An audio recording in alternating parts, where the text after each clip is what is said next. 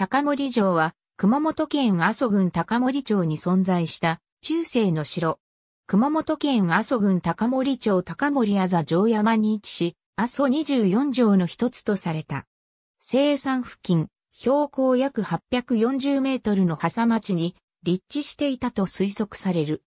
高森城は、肥後、文豪、日向の国境を抑える要衝に位置し、戦国時代を生き抜いた阿蘇大宮寺下最後の城となった。上地の後方には千人隠れの岩屋と呼ばれる窪地があり、感動は村落へ通じる。室町時代から安土桃山時代を通じ、阿蘇市の一門で南郷七家の筆頭である高森氏が一帯を治めていた。薩摩島津氏から数度の侵攻を受け、天正14年、ついに上したカモリオモンミーが切腹したカモリ城は、落城、肥後全土が平定された。城主が切腹した場所は、現在も高森戸の杉として、聖英山に残っている。また、落城の際に高森オモンミーの娘、柏姫が、島津市の家臣に切られたと伝わる。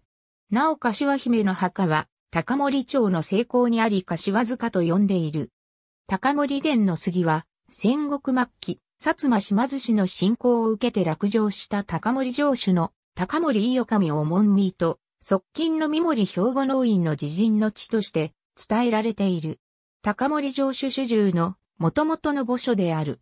国道から分かれて、聖英山、黒岩峠につながる道に入る。最初のうちは両側を林に囲まれているが、しばらく行くと放牧場があり、左右に開ける。